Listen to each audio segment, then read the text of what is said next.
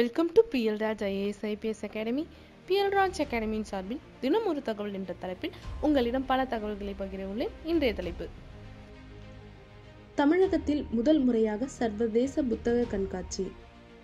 தமிழகத்தில் முதல் முறையாக சர்வதேச புத்தக காட்சி சென்னை நந்தனம் ஓஎம்சிஏ மைதானத்தில் ஜனவரி பதினாறாம் தேதி முதல் ஜனவரி பதினெட்டாம் தேதி வரை நடைபெற்றது.